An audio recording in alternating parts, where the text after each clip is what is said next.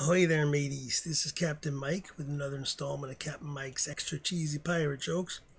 They're only going to be a little cheesy today, I guess, because the cheese grater's down in my dungeon.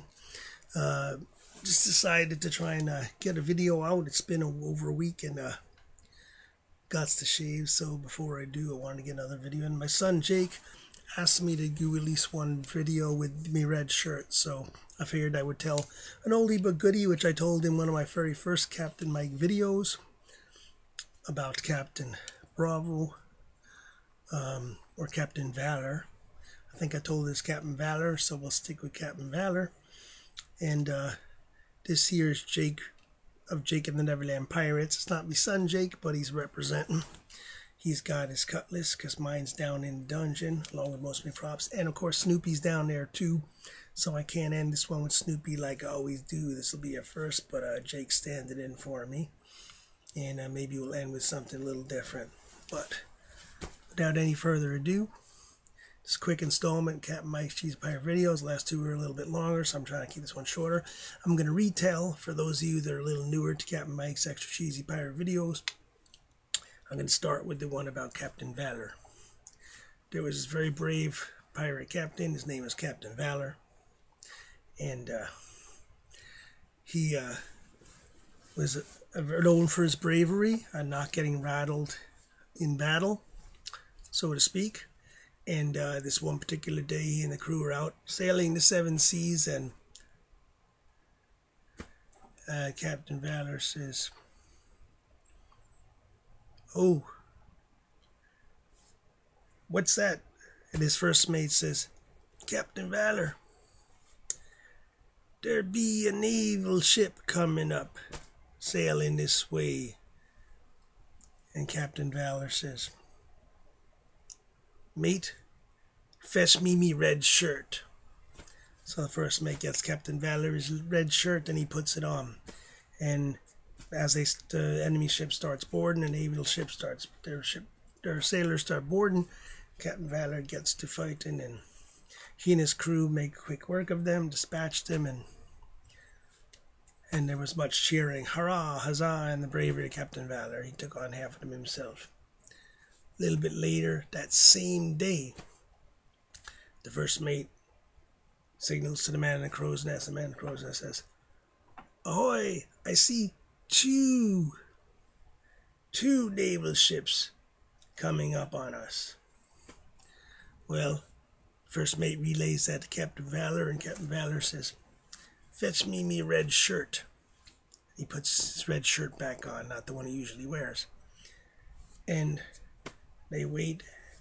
They start firing on the naval ships. Naval ships firing back. Naval ships try and board, and there's jumping on the ships, and there's much sword play. And Captain Valor, very brave, he and his crew, and they they make short work of the two naval ships, home and crew, the ones that aren't, the ones that they don't do away with are thrown down below to be probably sold as slaves.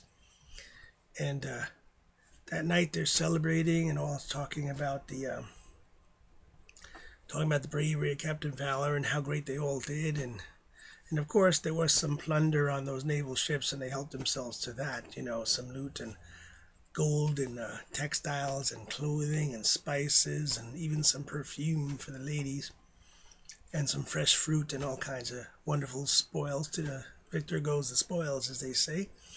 And uh, right jake? Yeah. So as they're sitting around having some grog the first mate pulls captain valor aside and says captain valor i've been serving ye for about seven years and i know you're an honorable man and I know you're not one to dodge truth. I just gotta ask ye, why is it that you, whenever you hear the pirate or other ships coming or naval ships coming, you always ask for your red shirt? And Captain Valor says, okay, you've been a good and loyal uh, sailor and a loyal first mate to me, lo these last many years, and a total of seven years, and so I'm gonna tell you, but this is between you and me.